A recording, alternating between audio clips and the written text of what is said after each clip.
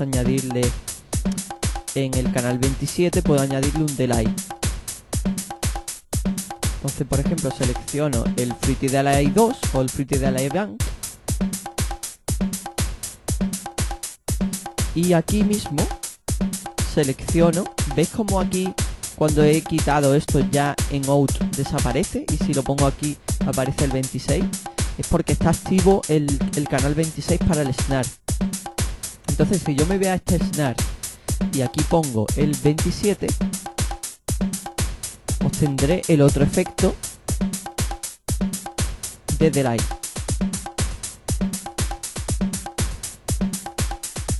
¿lo escucháis?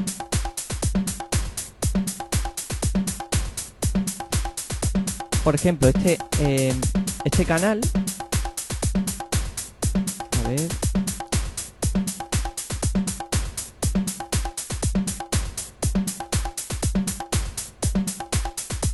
ejemplo esto pues podemos añadirle a todo este grupo.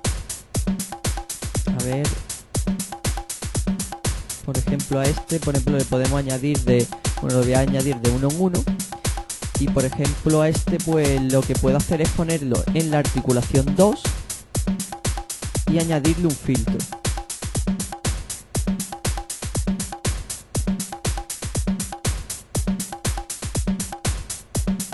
para añadir el filtro tengo que añadir aquí la articulación 2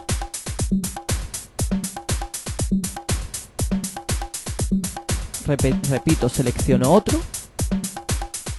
Selecciono la articulación que quiero.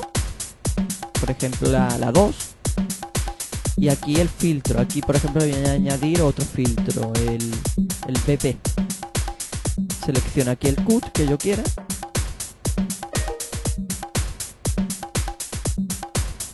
y aquí en filtro selecciono la articulación que quiero.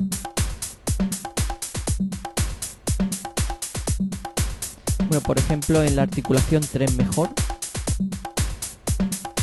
que no está pillada porque la otra la teníamos pillado con la articulación 2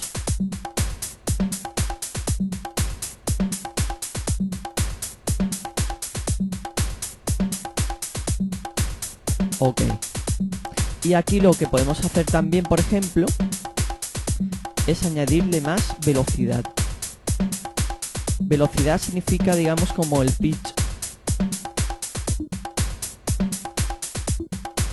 le voy a dar más volumen para que vosotros lo escuchéis.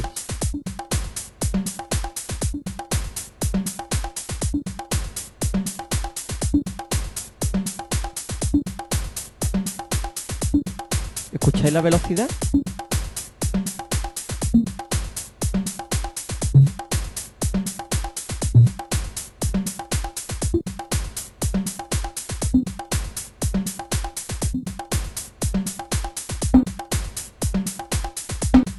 Esto del filtro.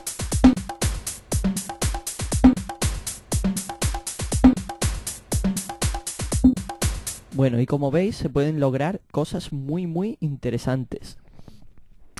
Eh, entonces bueno voy a hacer ya la última demostración